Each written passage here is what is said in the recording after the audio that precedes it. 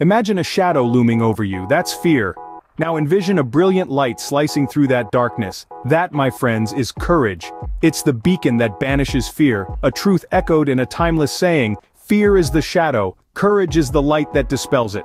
Visualize a towering wall, that's fear. Now, picture a vast open field on the other side, that's freedom. And remember, on the other side of fear lies freedom.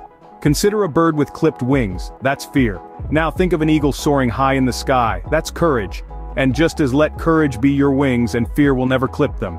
Remember, fear is a choice and so is courage, choose wisely.